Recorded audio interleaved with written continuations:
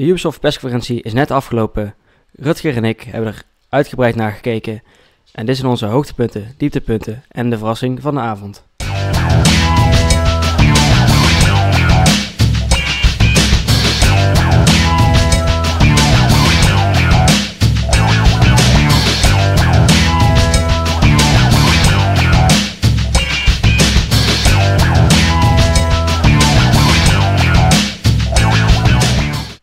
De opening van de Ubisoft persconferentie was ook heel verrassing. Dat klopt toch? Uh, ja, ze begonnen al heel snel met uh, For Honor. Dat vond ik eigenlijk heel erg verrassend, omdat uh, games echt puur gaan om middeleeuws vaart vechten. Dat zie je eigenlijk niet van grote bedrijven.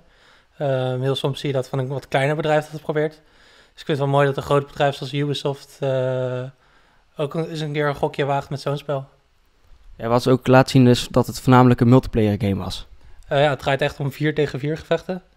Um, dus ik denk dat de soorten game modes die erin zitten ook heel erg belangrijk gaan zijn voor het succes van het spel. Maar um, het spel is speelbaar op de E3, dus ik, dus ik, ben, dus ik uh, verwacht dat we binnenkort uh, meer gaan zien. Mijn verrassing van de Ubisoft persconferentie is uh, de nieuwe Ghost Recon. Het is een open wereld game die je speelt met vier vrienden eventueel. En dat was ook jouw hoogtepunt. ja, zeker. Waarom was jouw hoogtepunt?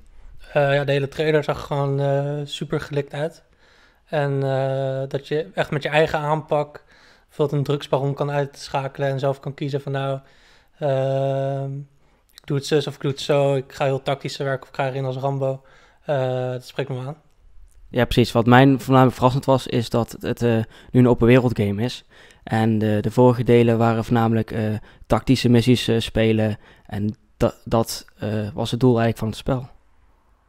Mijn hoogtepunt is de release datum van Division. Nou, waarom eigenlijk? Ze hebben al zo vaak, of ja, een paar keer de game uitgesteld. En best wel vaak wel gameplaybeelden laten zien. Hebben ze uiteindelijk de release datum aangekondigd. En dat is 8 maart. De dieptepunt van de avond is natuurlijk Just Dance. Maar waarom? Ja, eigenlijk is het elke keer gewoon precies hetzelfde verhaal. Dat ze komen samen met Just Dance en dan een groep mensen komen dansen of een, of een semi-bekende zanger. En uh, er verandert gewoon niks aan en uh, het is elk jaar hetzelfde liedje ja, het was namelijk ook heel erg uh, tijdverspilling voor ons. Uh, we zitten niet echt te wachten op uh, games zoals Just Dance. En er kwam ook een optreden van een artiest. En ja, Just Dance, dat is toch niet echt een game waar de, de game op te, op te wachten staat. Dit waren onze hoogtepunten, dieptepunten en de verrassingen van de Ubisoft persconferentie.